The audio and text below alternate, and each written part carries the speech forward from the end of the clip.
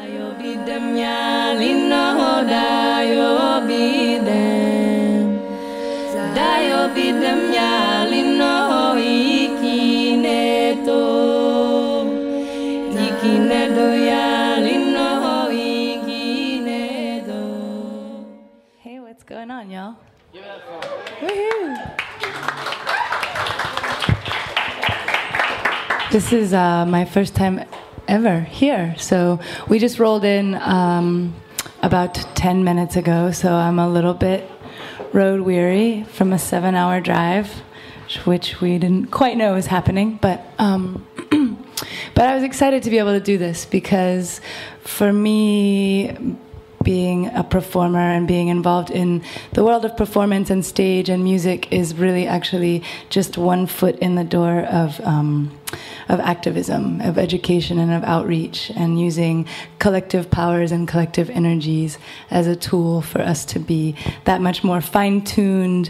Culturally and holistically, individually, and, and in a collective. So, so I was thinking about what I was going to talk about, and there's like 50 different varieties of what that means for me and for the kind of crew at large that we speak to and speak of. Um, we do a lot of work with with kind of empowering the dialogue around and around being southern, which is a really big important part of our of our tool, talking about how uh, this this landscape and the whole southern southeastern region is tied very closely to a lot of historical atrocities, and uh, and it's also tied still very closely to to uh, a really negative reputation, but that it's also tied very closely to a profound amount of culture, cultural integrity and human rights work, and a lot of the movement that was about keeping culture slow and intact. People sat on porches and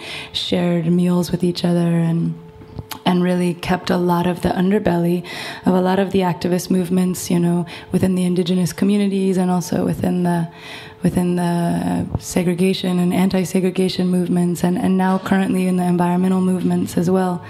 Uh, there's still a lot of radicalism that stays very strong in the South, and uh, and I'm part of a project called Alternate Roots, which is uh, a, a collaborative effort of working artists all over all over the, the south southern region that are all using art as a tool for social change. So so it's been just this a massive, massive, em- empowering and important part of, of the work with, with Rising Appalachia is, is trying to figure out how to make art, but not just art for art's sake, although that is also very valid because I, I, I really believe that it's cathartic and an important process to be just in the act of creating and in creative spaces.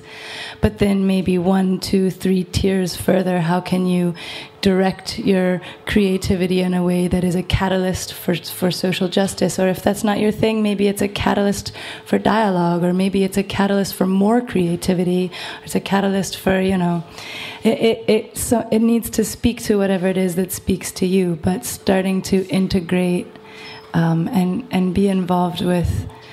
With, with finding more and more purpose in, in our in our work and uh, and I was talking with, with an amazing activist and, and, and elder today. Her name is Winona LaDuke, and she does a lot of work with the native indigenous rights and the anti pipeline work that's going on in the Midwest right now. And, um, and we're getting ready to, to launch a small run with her. And she was talking to me.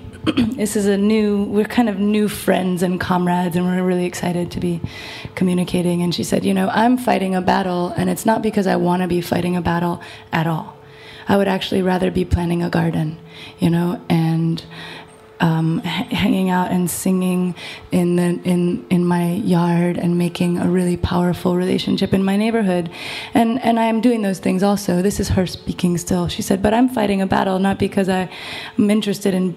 In a, being a warrior, but because it's getting things are being stripped out from under us every day every second every every step of the way. There's pipelines there's logging there's there's coal mining there's mountaintop removal. And then you can sort of turn an eye to it or you can step in and be like i have to gear part of my energy towards that.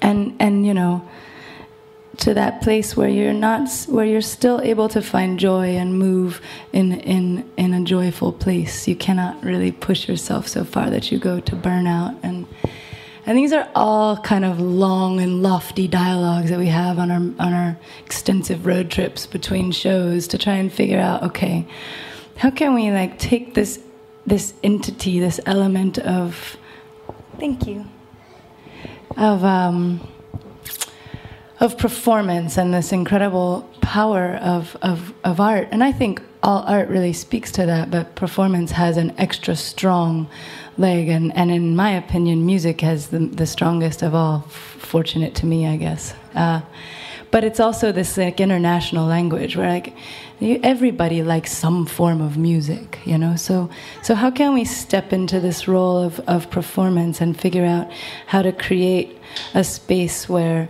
we can engage the communities that we're, we're, we're in and working in and, and not necessarily stand up here and like preach. This is probably more chatting than I would ever get to do otherwise, which is great because I love chatting. But, but, you know, how can we create an engaged performance that starts to fill in all those blanks and, and this is really amazing that you all are doing this, this very concept, because I think the most incredible part of people power is to gather us, you know, see what happens when we are all in one space and you rub elbows with your neighbors and you hear what kind of work is being on near you, going on in your neighborhoods, what kind of work is going on across the country, across the world. How can you glean little pieces of inspiration from that?